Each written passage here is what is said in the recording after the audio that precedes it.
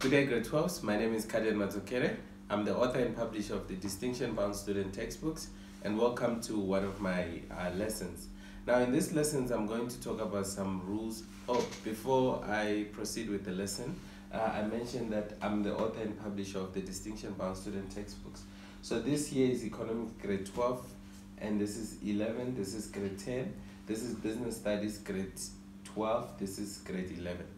Uh, the grade 10 business studies book is long overdue and I'm working on it. And I have uh, other material that I put online for free. Uh, this is one of them. You can just download this. I'm not even the one who uploaded it. I don't know who did, but somewhere, if, I, if you Google that, you'll find it. I'll try to upload some of my material that I know that this can be helpful like one of my favorite is one called the mini workbook um yeah i'm going to make a plan. I can't say i'll, I'll put the link to where you can get it in the description. I cannot do that because uh, i haven't really uploaded that. So i'm going to do it in the future. Now in this lesson i'm going to mainly focus on some of the rules that are very very important when it comes to graphs uh, in this case, I'm talking about microeconomics, and these rules will apply whether it's uh, my, whether it's perfect, uh, monopoly, oligopoly, or monopolistic. So the first rule I'm going to talk about is uh, the rule of profit maximization. Now, the first thing uh, we need to know when we start constructing these graphs is that uh, we we we don't just draw a graph haphazardly. Personally, if I ask a learner to go at the board to draw a graph, I expect to see certain steps like, yeah, you have to start here because how did you get to that? It has to be more like a story that you are telling. But uh, I think, I don't know how they just get it from the book and then they just try to memorize drawing a graph. But it has to be a story. Like, it makes sense to start with the axis, then you draw a demand curve. If it's perfect, uh, a horizontal one. Then from there you draw the marginal cost curve because that is what will tell you what the quantity should be. And once you have the quantity, then you, well, depending on what you have been instructed to do, if you have been instructed to draw normal profit, then now you draw an AC which is in line with your what? With your demand curve if you are asked to draw normal profit, uh, economic profit, then you draw your AC below. If you want economic loss, you draw your AC above. So basically, uh, I have videos, uh, actually a playlist where you go and watch all the graphs. But in this particular video, I want to address uh, some rules that have to be followed. Now, the first rule that I'm, uh, like I said, is on profit maximization. Now, this rule states that in order for a firm to maximize its profits, it has to produce at a point where marginal cost intersects marginal revenue or when marginal cost is equal to marginal revenue. That is where the, the, the rule what that is what the rule says and that is where profit is maximized now i always say uh, when like in terms of you writing some notes here's what you could write mc and mr are used to determine profit maximization. And profit is maximized at a point where MC is equal to MR, or at a point where MC intersects MR. The next rule I'm going to talk about is, uh, well, this one is not really a rule, but this is something that you need to uh, uh, uh follow or, or that you need to master in order for you to, um, to, to get the, the profits right.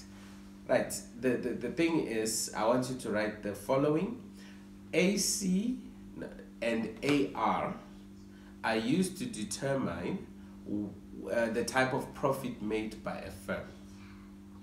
AC and AR are used to determine the type of profit made by a firm. Uh, or to rephrase, AC and AR are used to determine whether a firm makes a normal profit, economic profit, or economic loss.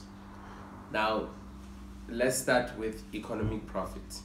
Now, economic profit, right? Uh, economic profit, then you put a semicolon, because here you are writing some notes, right? Economic profit, semicolon, AR greater than AC. Then the next one, economic loss, semicolon, AR less than AC. And then the last one, normal profit, semicolon, AR equal to AC. Well, that's it. It can never be. So, uh, you usually I'll be as I'm teaching. Well, I, I cannot really do it right now because I won't be getting responses from you and so on and so on. But usually, what I'll do is that I would ask, as as we are constructing our graphs, there's a part I'll have said a lot of things, and then our, my graph is half drawn, and there's no AC there. And the things I'll have said, uh, it kind of confuses people to make them think that they can answer the question that I'll be asking. And the question will be uh, on an incomplete graph Is this firm making a profit or loss? Trust me, I always get responses from learners saying it's a, some saying it's a profit, it's a loss. But they've written the things that I just gave you there in their books. And then when you go back to ask, uh, is this firm on this graph? And by the way, the graph is incomplete. Is this firm making a profit or loss? You get responses. Most of the times, it's from everyone. Everyone responds, but everyone has written uh, that particular uh, what statement no, not a statement but the whole the whole stuff that says a normal profit AR greater than AC uh, I don't know if I said it right. Normal profit AR equal to AC. Economic profit AR greater than AC. Uh, economic loss AR less than AC. You you you you'll be surprised to see them responding, but the graph won't be having an AC curve yet but they will respond. They see it, or the graph will be having a marginal cost curve, and somehow it confuses them. It probably, I don't know what happens, but uh, basically it's because my question will be a bit tricky uh, to, to, to have them respond in a wrong way.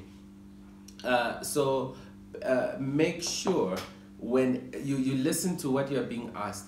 If the question is, identify the profit maximizing point, look for MC, look for MR. If the question is what type of profit is made by this firm, then the answer you what comes to your mind should be is where is my AR, where is my AC, which one is greater than the other? What is the value at the profit maximizing output? What is the value of my average revenue? What is the value of my average of my average cost? Then if you see that your average revenue is more than your average cost, then it's a profit. If you see that your cost is higher than your revenue, then it's a loss. If you see that they are equal, then it's a normal profit. It's as easy as that. So, uh, are we asking profit maximization? If we are, MC, MR. Are we asking loss or profit? If we are, then ARAC. Right. Moving on to the next rule. The next rule is very important and it's um, it's about uh, shutting down whether or not a firm should shut down. And the rule states that a firm should consider shutting down if its price or average revenue. Well, if I say it like that, I'm saying the same thing: price, average revenue, total revenue. Uh, but now price with AVC, average revenue with AVC, total revenue with total variable cost TVC. So uh, you must just not get confused. And I can also include a marginal cost curve there when we are talking about this rule. And I'll say them all at the same time. So the rule states that a firm should consider shutting down if its average revenue or price, you know, the two are equal, if its average revenue or price is less, did I say shut down? Let me say it again because now I forgot whether I said shut down or continue. The firm should consider shutting down if its price or average revenue is less or equal to its average variable cost. I'll say it again. The firm should consider shutting down if its price or average revenue is less or equal to its average variable cost. So that's what the rule says. So if you see that uh, your price is less than AVC, then that particular firm should shut down. And if the price is above AVC, even if the firm is making an economic loss, that firm should continue because that firm can cover its variable costs. And when I'm talking about T, total revenue, then I'll say it this way a firm should consider shutting down if its total revenue is less or equal to its total variable cost. That's what the rule says. So now this can present you with um, pick. Let me let me make some numbers up. Let us assume that a firm is making um, 10, 100 units of whatever. And then this firm is uh, it the average revenue, uh, the average revenue or the price, let's say it's 10. Okay, and then its uh, average cost is say 20. So that means the firm is making an economic loss of 10 units, 10 rands per unit. So if it's making 100 units, then it's 10 times 100, which is 1,000. So this firm is making a loss of 1,000 and let's assume that it's making a loss of 1,000 rands per minute. So then say 1,000 rand per, no, let's say per second. That means this firm is making an economic loss of what? 60,000 rands per minute. So if a firm makes an, a, a loss of uh, 60,000 per minute, uh, how much loss is it making? Economic loss is it making per per day per hour? So you multiply that by 60 and then per day you multiply, keep multiplying. So if you say uh, 60,000 times uh, 60, uh, do the maths, you'll see it's a big figure there. And once you get that figure, multiply that, say, by 8 hours, after multiplying by eight hours, let's say now it shows you the economic loss that the firm is making per day. So I think you can see it's a huge amount. Now you make uh, you, you tell me what you think. Okay, maybe in the comment section. I will, if you don't, just in your head because you want to understand what I'm saying. Uh, respond please to yourself, even though you don't have to tell me. Now, do you think this firm can survive? Do you think this firm should shut down? Do you think this firm should continue? Well, you can pause the video and think hard. Now, if you think that the firm should continue, then you are wrong. So, does it mean the firm should shut down?